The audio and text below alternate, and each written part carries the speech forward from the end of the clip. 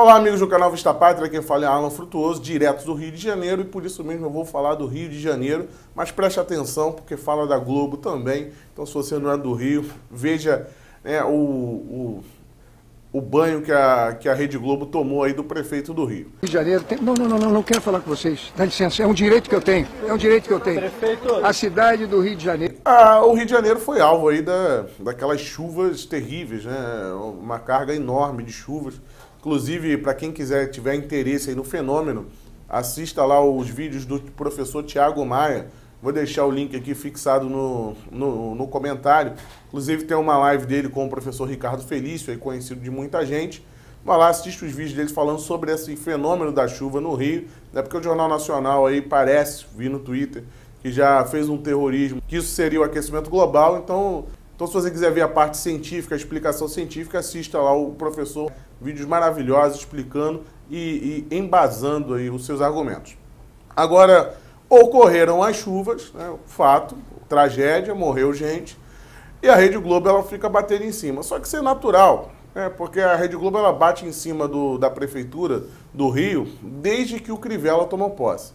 Aí você vai me dizer, ah, mas o Crivella é o melhor prefeito do mundo? Não, mas não é mesmo. Aqui o Rio de Janeiro foi obrigado a escolher entre Crivella e Freixo. Escolhe, moleque. Quer tomar o tiro aonde? No pé ou na mão? É, você tinha que escolher. Mas vamos lá. Entre Freixo e Crivella, Crivella. Só que o Crivella é da Universal, né? Ele possui um vínculo aí com o Bispo Macedo. E o Bispo Macedo é dono da Record, concorrente da Globo. Então há esse grande problema. Porque nós tínhamos no, anteriormente, nós tínhamos Sérgio Cabral, tínhamos Eduardo Paes e a Globo ela não batia da mesma forma. O seu principal projeto nessa área de segurança pública são as UPPs, inclusive com bons índices de, de aceitação popular. Márcio, olha, é, nós estamos reconstruindo o Estado e com compromissos muito firmes na área de segurança pública.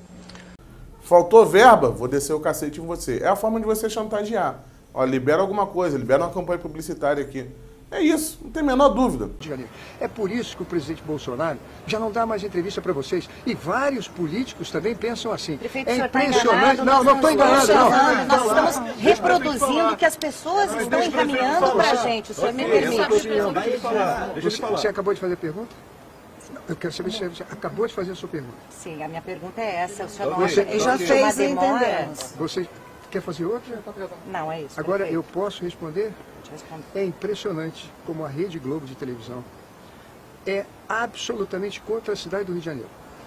É a televisão que anuncia o tempo todo os problemas do Rio, que faz drama sobre coisas corriqueiras que acontecem na nossa vida desde que eu nasci aqui. O senhor acha que o que aconteceu foi um drama corriqueiro? Não, não tem como. Perdão, prefeito, o senhor acha que o que aconteceu, a pior chuva em 22 anos, foi um drama corriqueiro? Prefeito, também queria fazer uma pergunta sobre o centro de operações. 10 pessoas, Olha aqui, ó, a cidade do Rio de Janeiro a cidade do Rio de Janeiro tem... Não, não, não, não, não quero falar com vocês. Dá licença, é um direito que eu tenho. É um direito que eu tenho.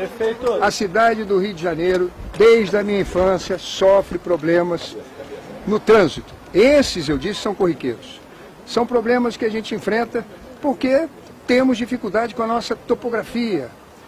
Nós somos uma cidade com muitas montanhas, com muitos túneis, com vias estreitas e temos sim problemas com o trânsito.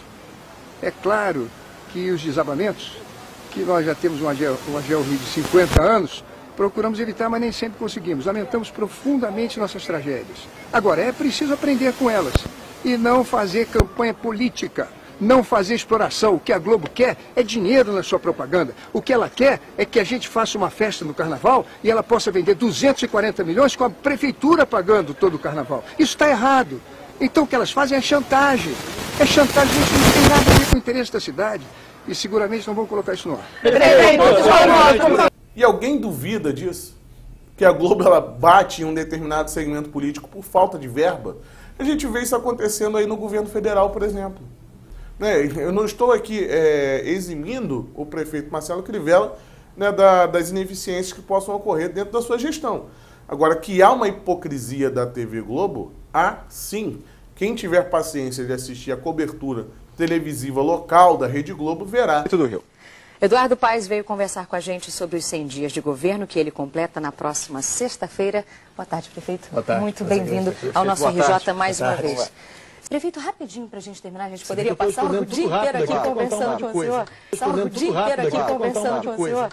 Prefeito, o senhor começou a semana anunciando medidas para a saúde, novos médicos e tal. É o seu compromisso para os próximos dias? De importante para a cidade está sendo tratado, discutido, o prefeito está trabalhando muito, os secretários estão trabalhando muito e, e nós não vamos nos esconder. Isso aqui é importante. Boa sorte para o senhor, prefeito. Muito obrigado. Conte com a RJ sempre. Sei disso. Podem cobrar. Bom trabalho, prefeito. Muito obrigado. Isso aqui é importante. Boa sorte para o senhor, prefeito. Muito obrigado. Conte com a RJ sempre. Sei disso. Podem cobrar. Bom trabalho, prefeito. Muito obrigado. Que há uma má vontade, sim. E não é só da Globo, não. Tá? Se você pega o SBT é, Rio aí também, descem o cacete no Bolsonaro. Vejam só, um jornal local descendo o cacete no presidente da República. Faz sentido isso? Não faz. Aí quem, você, quem eles chamam para especialista? O PSOL.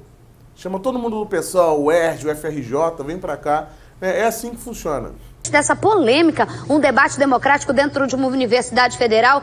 É, e o Marcelo Freixo tem microfone liberado no SBT Rio. Então o Silvio Santos aí que apoia o governo, deveria dar uma olhada aí nas suas filiais.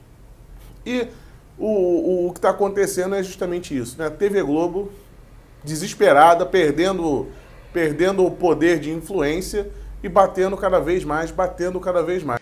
O prefeito Marcelo Crivella se irritou com perguntas da repórter Larissa Schmidt na entrevista coletiva que concedeu sobre o decreto de calamidade e a afastou dos outros jornalistas.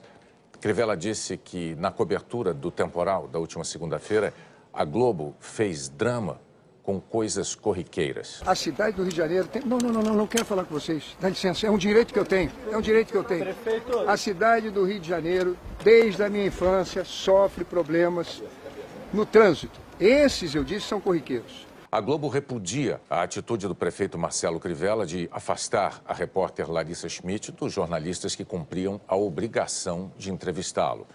A Globo também repudia a afirmação de Crivella de que a emissora fez drama com coisas corriqueiras na cobertura jornalística do temporal de segunda-feira.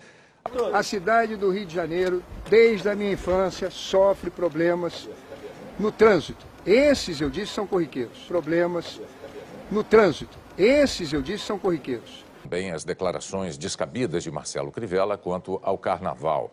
A Globo compra os direitos de transmissão das escolas de samba e paga um valor seis vezes maior do que aquele que elas recebem de subvenção da prefeitura. O que ela quer é que a gente faça uma festa no carnaval e ela possa vender 240 milhões com a prefeitura pagando todo. Mano, vamos ver né, se o, o prefeito Marcelo Crivella agora, pelo menos, fica mais esperto. Houve o caso aí hoje do, do, da queda de um prédio aqui no Rio de Janeiro.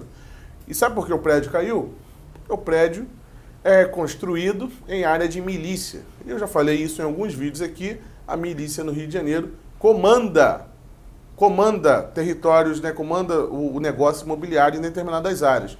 O que eles fizeram? Um prédio de qualquer jeito, sem sem, sem as, as devidas medidas de segurança, sem habites, sem nada, e o prédio caiu, morreu gente. Oi pessoal, nós estamos aqui na Musema num drama tremendo porque duas edificações caíram. Essas edificações estão num loteamento irregular. A prefeitura já havia notificado, a prefeitura comunicou ao Ministério Público, a prefeitura veio aqui, tentou interditar, lançou diversas multas de infrações, mas infelizmente as obras continuaram e nós estamos agora pedindo a todos que orem por nós. Há aqui turmas enormes da Defesa Civil, da, do Corpo de Bombeiro, também temos gente aqui de toda a Prefeitura, Rio Águas, Rio Luz, a Conlub, estamos todos aqui lutando muito para tentar resgatar pessoas dos escombros. E fica uma lição. Quando a Prefeitura notificar, quando a Prefeitura der os, os, os autos de interdição, quando ela multar e avisar, pelo amor de Deus, não continuem as porque tem. É assim que o Rio de Janeiro funciona. Né? O Rio de Janeiro é o grande laboratório da esquerda brasileira. Você quer ver como seria o Brasil completamente dominado, né? até, o, até o limite aí com a esquerda, você olha para o Rio de Janeiro. É corrupção, é a LERJ dominada, né? o PT é presidente da LERJ, né? o PT está na presidência da LERJ. Vejam só o que, que é o Rio de Janeiro. Bem, que foi aula frutuosa para o canal Vista Pátria. Se inscreva no canal, ative o sininho. É, e, e se você puder colaborar também, tem o apoia-se aqui embaixo. Até a próxima, pessoal. Tchau, tchau. Forte abraço.